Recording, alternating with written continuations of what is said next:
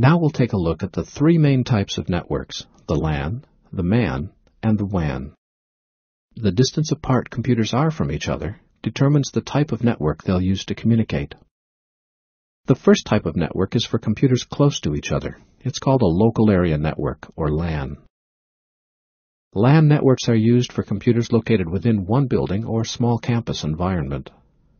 A metropolitan area network, or MAN, connects individual LANs at different sites. As the name implies, MANs are designed to connect computers around a metropolitan area or city.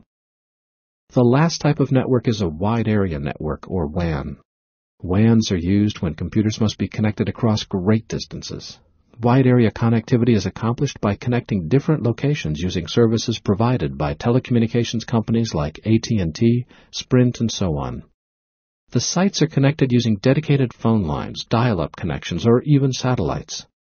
Wide area networking can link two sites on different sides of the state, or it can be as complex as linking hundreds of branch offices across the world.